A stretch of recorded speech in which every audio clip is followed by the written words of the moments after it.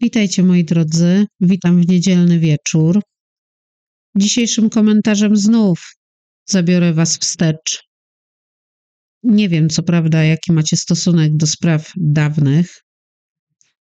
Możecie oczywiście mnie o tym poinformować w komentarzach, natomiast powiem Wam, jaki ja mam stosunek do takich spraw. Otóż dla mnie nie ma znaczenia, czy sprawa liczy sobie dzień, tydzień, miesiąc, rok czy parędziesiąt lat.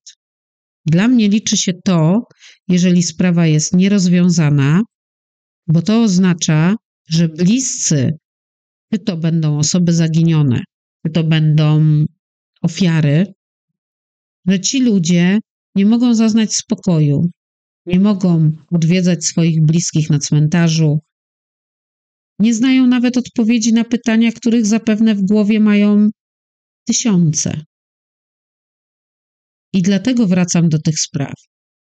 Jestem przekonana też, że inni twórcy, którzy poruszają się w tej jakże delikatnej tematyce, też ich intencją nie jest robienie sobie fejmu czy nabijanie sobie kasy, tylko przede wszystkim na celu ma to pomożenie tym, żeby sprawa została wyjaśniona. Oczywiście, może jest to płonna nadzieja. Ja też taką mam. Zawsze, za każdym razem. Bo może liczy się na to, że jakimś cudem dotrze to do kogoś, albo będzie powodem dyskusji w jakimś szerszym gronie, i wśród osób, które się jej przysłuchują, będzie ktoś, kto sobie coś przypomni. I to coś będzie tym brakującym puzelkiem, który uniemożliwia zamknięcie sprawy. Dlatego uważam, że warto wracać do spraw starszych, warto przypominać. Nie można pozwolić tym sprawom pójść w zapomnienie. Wystarczy, że służby pozwalają na to. No my nie powinniśmy na to pozwalać i dlatego ja do takich spraw też wracam. Jeżeli chodzi o tą sprawę, sytuacja jest nieco bardziej skomplikowana, bowiem ta sprawa przedawniła się już z końcem 2020 roku. Próbowałam uzyskać informacje, czytałam troszeczkę na różnych portalach adwokackich, prawnych, czy w momencie, kiedy sprawa jest przedawniona, a pojawią się jakieś nowe okoliczności, które mogą pomóc jednak ją zamknąć, czy istnieje możliwość niejako rozpoczęcia jej od nowa? No, wyczytałam, że nie ma żadnych przeciwwskazań ku temu. Jedyny problem może polegać na tym, że nie wiadomo, jak ustosunkuje się do tego sąd. Ale być może ja w ogóle trafiłam na y, rzecz, która nie wiąże się z tego typu sprawami, więc jeżeli ktoś z Was posiada wiedzę, jak to wygląda, to bardzo proszę, e, żeby się nią podzielił w komentarzu. Oczywiście w wolnej chwili, bo ja nigdy nikogo do niczego nie zmuszam. A mówić będziemy o zaginięciu i śmierci Urpuli Olszowskiej. Głośna sprawa, wielokrotnie komentowana, ale nie przeze mnie, a ja też ją skomentuję po swojemu. Urszula Olszowska to 24-letnia mieszkanka Krakowa, studentka. W okresie, w którym zaginęła, odbywała staż fotoreporterski w Gazecie Krakowskiej. Wiemy, że miała już napisaną pracę dyplomową, którą z całą pewnością planowała obronić. Wiemy, że jej największą miłością i pasją były góry, i w te góry bardzo często jeździła i po prostu po nich wędrowała. Nie wiemy zbyt wiele na temat jej życia prywatnego, to znaczy uczuciowego, bo nie wiemy.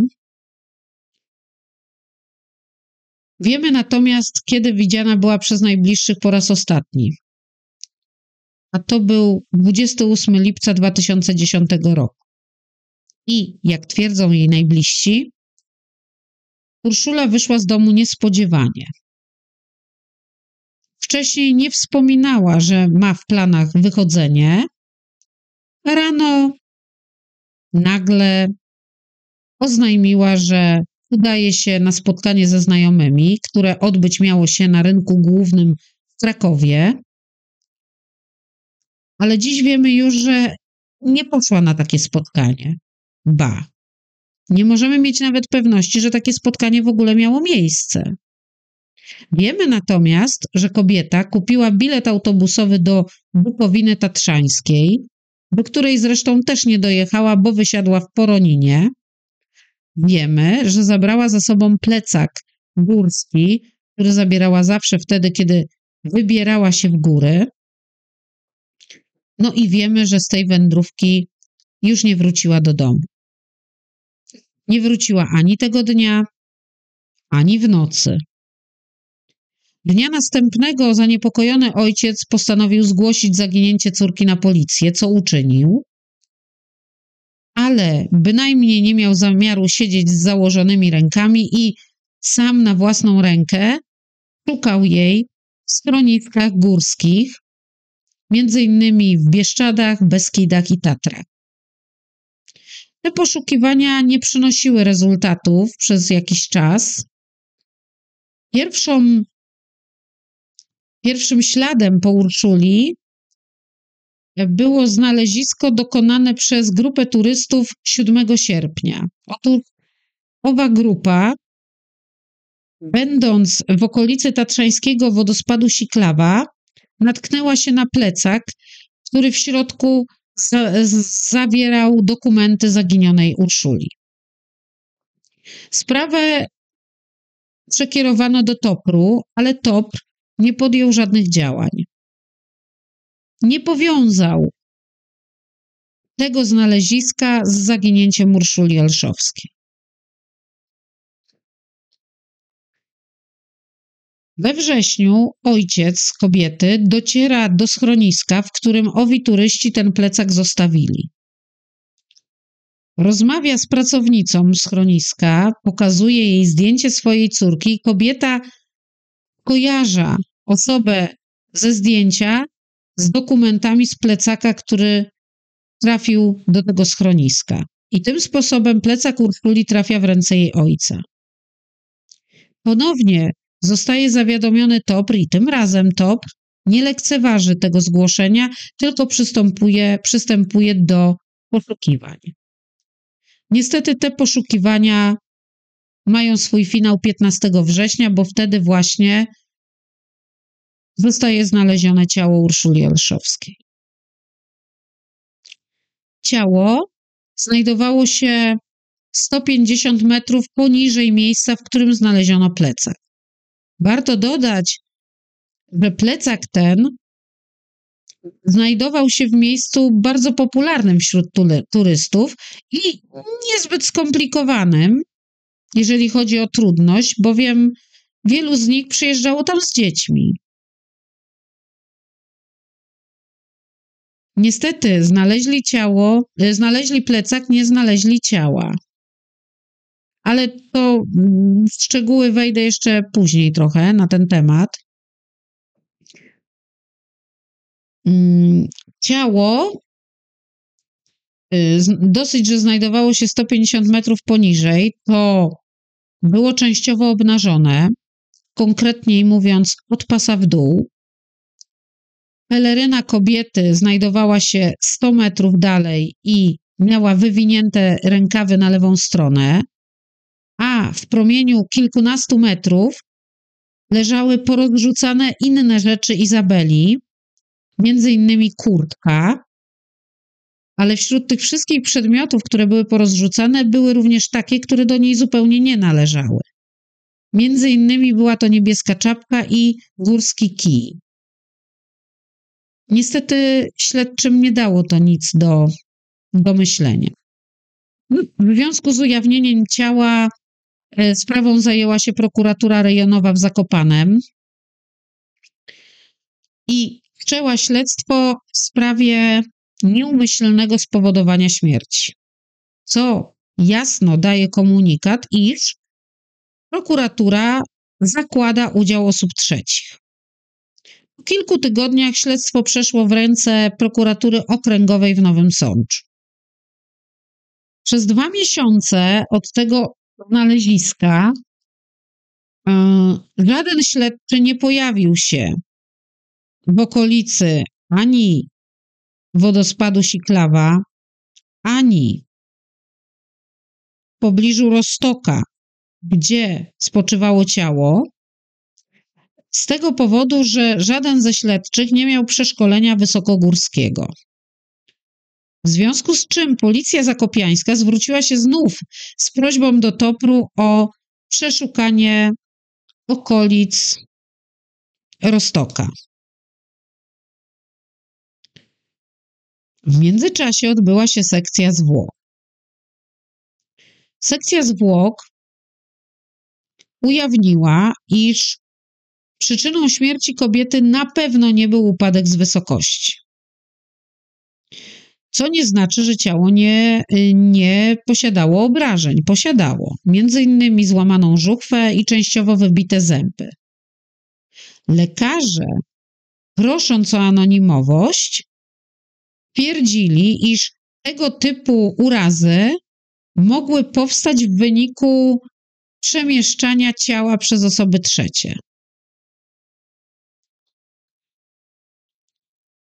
Dodatkowo specjaliści z, zakładem, z Zakładu Medycyny Sądowej w Krakowie nie wykluczyli, że przyczyną zgonu kobiety mogło być utopienie lub odcięcie dopływu powietrza.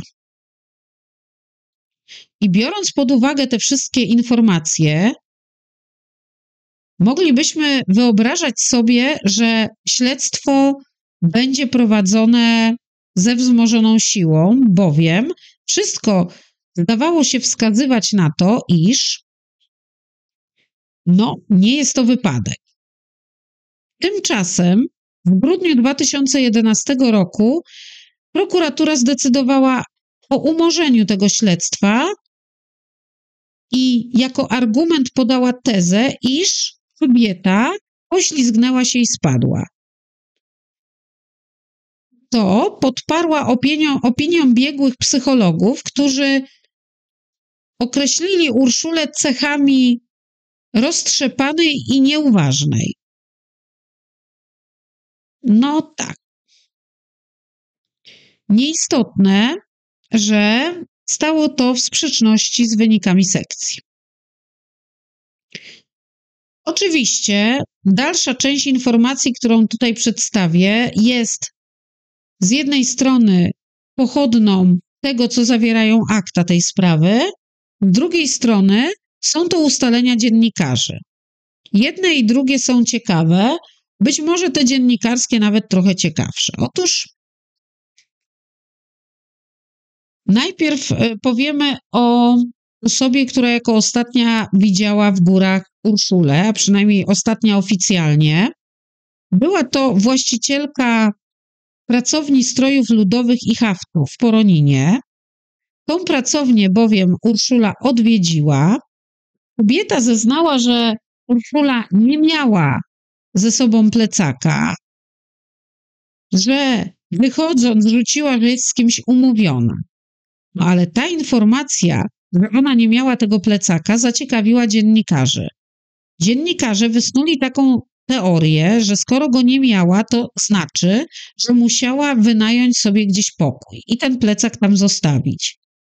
Rzekomo dotarli do gospodarstwa, którym kobieta ten pokój wynająć miała. No tyle, że właściciel tego gospodarstwa oraz jego córka zaprzeczają temu, że kobieta kiedykolwiek się u nich pojawiła. Więc jest tutaj trochę, troszeczkę nie, nieścisłość. Dalej.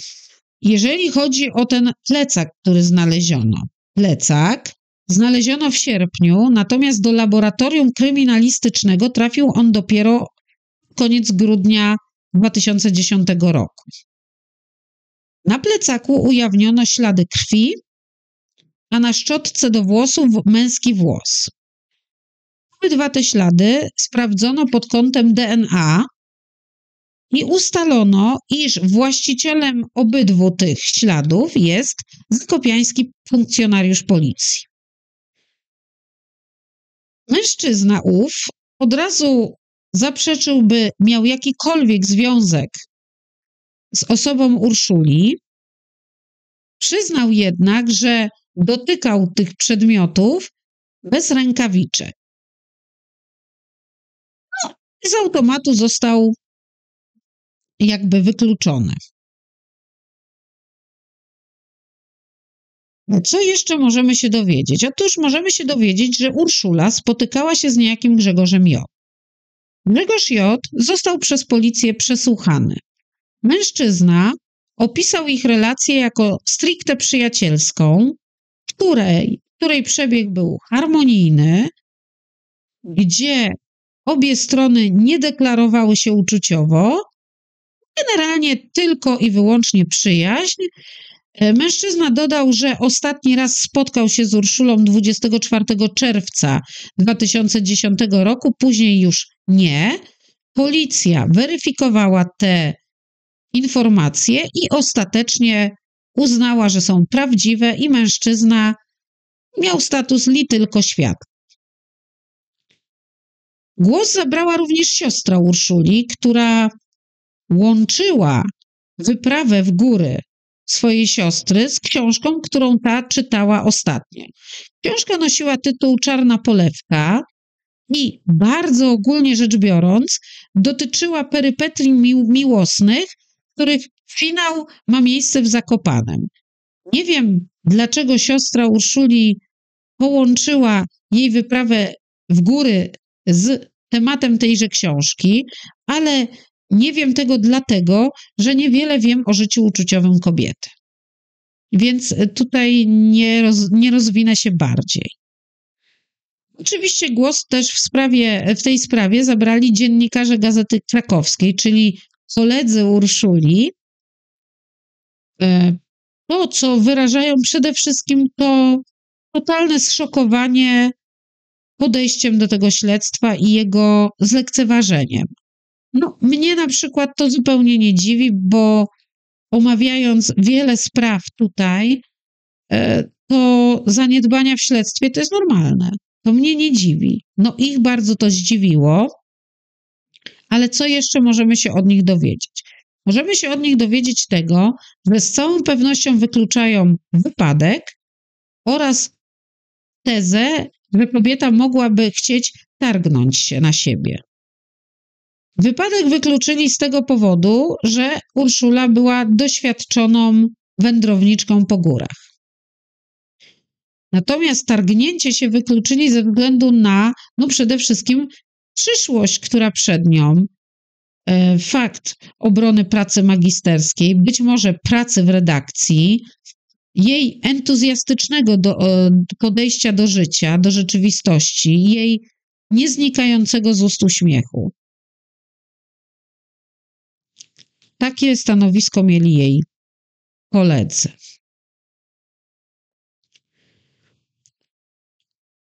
E, po podaniu do publicznej wiadomości mm, informacji o odnalezieniu ciała Urszuli, na policję trzykrotnie telefonował pewien mężczyzna. Mężczyzna ten twierdził, iż pod koniec lipca przebywał w Tatrach i w tym okresie, w którym kobieta zaginęła, yy, przebywał w okolicy wodospadu Siklawa. Przekazał policji informację, że słyszał podniesione głosy, krótko mówiąc, awanturę, z czego jeden z głosów z całą pewnością był kobiecy.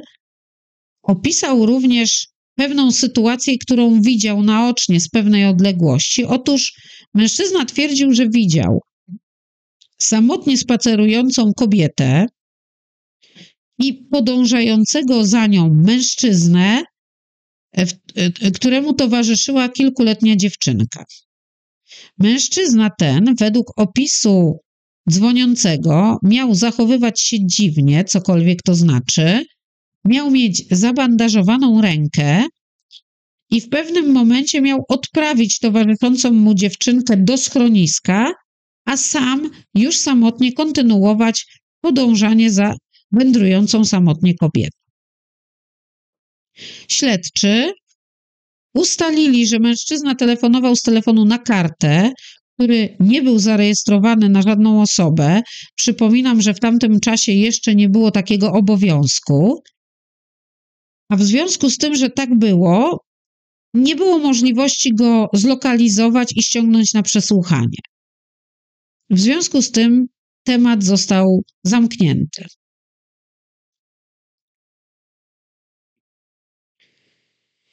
I to z grubsza są informacje, które w tej sprawie można znaleźć. Ja postawiłam sobie do tej sprawy bodaj chyba najwięcej pytań bez odpowiedzi, ponieważ no jest ich mnóstwo moim zdaniem.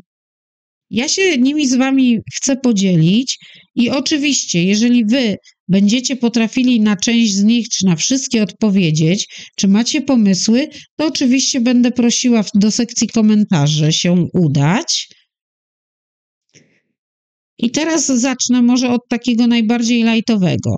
Pierwsze, co mnie zastanowiło, to to, jak wygląda przepływ informacji między służbami. Do czego pije? Ano pije do tego, że kiedy turyści odnaleźli plecak Urszuli i zawiadomili TOP, TOP nie zareagował.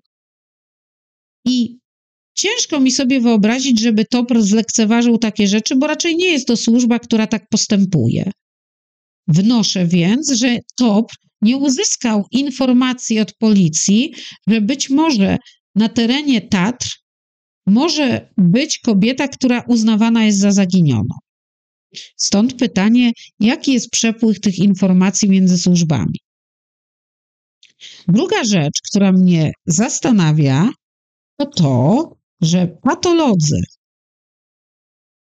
prosili o anonimowość, jeżeli chodzi o kwestię y, tego, skąd wzięły się urazy lub skąd mogły pochodzić urazy które wykazały, ukazała sekcja na ciele kobiety. Przypominam, że w tamtym okresie czasu toczyło się śledztwo, ono było otwarte. Dlaczego te spostrzeżenia nie trafiły do raportu sekcyjnego pod imieniem i nazwiskiem, tylko trzeba było prosić o anonimowość? Czy, przepraszam, fakt wystąpienia ewentualnej zbrodni był tabu w tamtym czasie? O co tutaj chodzi? Podobnie rzecz się ma z kwestią tego, że w sekcji nie ma słowa na temat badania ciała pod kątem penetracji. A przypominam, że ciało było częściowo obnażone, obnażone w tych obszarach, które uznaje się za jawny motyw intymny. Nie ma słowa na temat badania pod tym kątem, no i też y, prokuratura, zdaje się, nie brała w ogóle tego pod uwagę. Dlaczego? Kwestia kolejna, która mnie zastanawia, to kwestie ustaleń dziennikarskich co do ewentualnego noclegu, noclegu Urszuli w gospodarstwie. Dziennikarze Ustalili, że kobieta wynajęła pokój w gospodarstwie, czemu przeczy właściciel tegoż gospodarstwa. I teraz, czy dziennikarskie ustalenia były błędne, czy właściciel nie chce się przyznać do tego, że kobieta wynajęła tam pokój. Myślę, że jest to też z punktu widzenia sprawy istotne, lub było, bo teraz to już może nie. Kolejne pytanie. Urszula powiedziała właścicielce pracowni strojów ludowych, iż jest z kimś umówiona. Pytanie, z kim była umówiona? Jeżeli w ogóle z kimś była, a jeżeli była, to czemu ta osoba nie ujawniła się nigdy? Przecież po zaginięciu Urszuli sprawa była nagłośniona w mediach. Osoba, która ma czyste sumienie, no to dla mnie od razu się zgłasza. Jeżeli nie chce na policję, to przynajmniej kontaktuje się z rodziną. A tutaj cisza. Nikt się nie ujawnił. I teraz, jeżeli ktoś był umówiony z Urszulą, a ona nie dotarła na to spotkanie, to nie, nie przeszkadzało nic, żeby zgłosić ten fakt, czy to policji, czy najbliższym. Że był umówiony, kobieta już na to spotkanie nie dotarła, więc mniej więcej można oszacować w czasie, że już w tym czasie coś się musiało stać.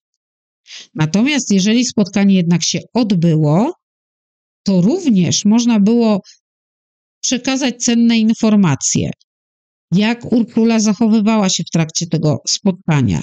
Czy była spokojna, radosna, zrelaksowana, czy może przeciwnie, może była e, smutna, e, może płakała, może była zdenerwowana, może się niepokoiła, może się bała? No to są istotne sprawy. Istotne, zwłaszcza na początkowym etapie śledztwa. Tymczasem w ogóle nikt się nie ujawnił. Dlaczego? Kolejna rzecz, która mi daje do myślenia, to to, dlaczego plecak znaleziony w sierpniu trafił do badania do laboratorium kryminalistycznego dopiero na koniec grudnia. Gdzie ten plecak przez te wszystkie miesiące był? Przez ile hipotetycznie przeszedł rąk, które hipotetycznie mogły zatrzeć istotne ślady z tego plecaka? Co jeszcze y, do tego bym dołożyła, to to sprawę z tym policjantem i pozostawieniem rzekomo przez niego tych śladów. Bo ja rozumiem zaniedbanie, rozumiem partactwo nawet. No, ktoś nie założył rękawiczek, no trudno. Ale ten funkcjonariusz musiał być ranny musiał mieć otwartą ranę, która nie była zabezpieczona i która krwawiła, bądź zranił się podczas przeglądania tych przedmiotów. Jeżeli tak było, to czemu nie opatrzył rany i nie założył rękawiczek? Dziwna w ogóle sprawa. Kolejna rzecz która mnie zastanawia, to jest dzwoniący trzykrotnie mężczyzna na komisariat policji. Mężczyzna, którego nigdy nie zidentyfikowano. Zastanawiam się, czy dzwoniący nie mógł być sprawcą. Może był nawet osobą, z którą Urszula była umówiona. Czy może tak być? Tym bardziej, że bardzo często zdarza się, że sprawcy bardzo mocno angażują się w śledztwo w sprawie, do której sami się przyczynili. Co zwraca moją uwagę? Przede wszystkim to, że mężczyzna, który posiadał, jak sama policja twierdzi, informacje, które mogła znać osoba tylko taka, która była bezpośrednim świadkiem tego, co działo się w ostatnich chwilach życia Urszuli, nie zgłosiła się na komisariat i nie złożyła zeznań, tylko anonimowo dzwoniła i była w stanie przekazać nawet takie informacje, które dla mnie są trudne do pozyskania, bowiem osoba ta obserwowała pewną sytuację z pewnej odległości, a mimo to była w stanie przekazać policji, co Mężczyzna, który podążał za samotnie wędrującą kobietą, powiedział towarzyszącej mu dziewczynce.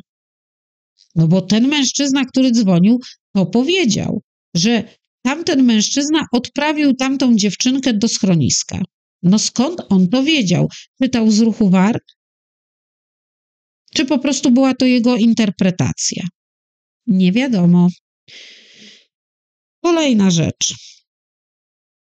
I to pytanie, jeżeli słucha mnie ktoś, kto spaceruje po górach, może jakoś bardziej, ba, tak bardziej, z, z większym zaangażowaniem niż ja na przykład, ktoś może mi odpowiedzieć na takie pytanie, bo turyści znaleźli plecak w punkcie A, natomiast 150 metrów niżej, w punkcie B, miało znajdować się ciało Urszuli. Moje pytanie jest, czy grupa turystów, która znalazła plecak w miejscu często odwiedzanym przez turystów, raczej obleganym, czy jest możliwe, że mogła nie dostrzec Urszuli leżącej 150 metrów niżej? Oczywiście ja zdaję sobie sprawę, że kształt skał jest nieregularny i być może patrząc z góry na dół nie jest wszystko widoczne, ale czy jest możliwość, że mogli to przeoczyć? A czemu ja o to pytam? A pytam o to dlatego, że zastanawiam się, czy w tym momencie, kiedy został znaleziony plecak, to ciało tam było. A dlaczego tak pytam? Ano dlatego, że wracam do anonimowego świadectwa patologów, którzy uznali, że obrażenia widoczne na ciele y, Urszuli mogły powstać w wyniku przemieszczenia ciała przez osoby trzecie. Ja dlatego do tego się tutaj przypięłam. No, także widzicie, reasumując, że pytań jest od groma w bardzo wielu obszarach, tyle że najbardziej bulwersujące jest to, że to nie ja powinnam te pytania zadawać. Nie wy, nie inni youtuberzy, tylko służby, policja i prokuratura. Pierwsza sprawa. Druga sprawa jest taka, że Urszula z całą pewnością miała swoje tajemnice. Choćby nie powiedziała prawdy najbliższym, twierdząc, że idzie na spotkanie na rynek główny, bo ewidentnie zmierzała już gdzieś indziej. Co miała do ukrycia? Dlaczego nie powiedziała prawdy? Nie wiadomo. I też nie jestem pewna, czy to my powinniśmy zadawać te pytania. No, skandalicznym wydaje mi się umożliwienie śledztwa na podstawie tezy, która jest sprzeczna z ustaleniami sekcji. No, no w głowie się nie mieści. Trudno to zrozumieć i racjonalnie to wyjaśnić. I generalnie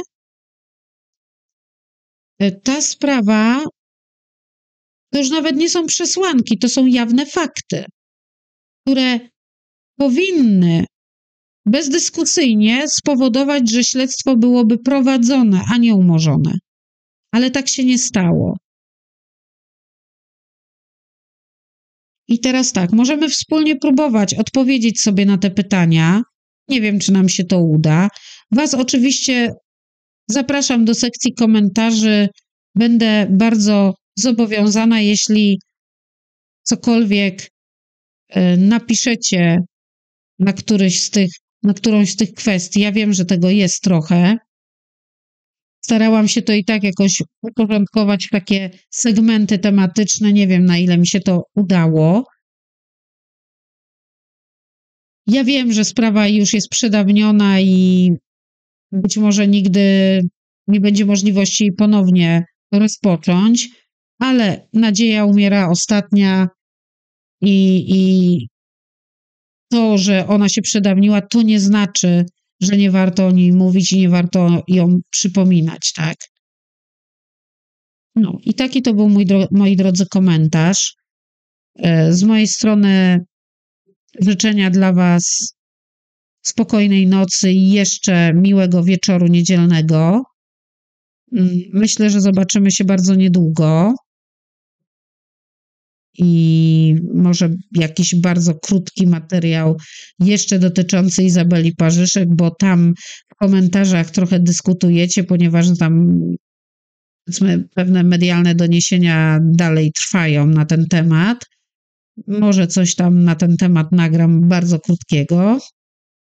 A tymczasem żegnam się z Wami, pozdrawiam Was bardzo serdecznie. Życzę wszystkiego dobrego i trzymajcie się bezpiecznie, standardowo. Do zobaczenia i usłyszenia niedługo. Pa.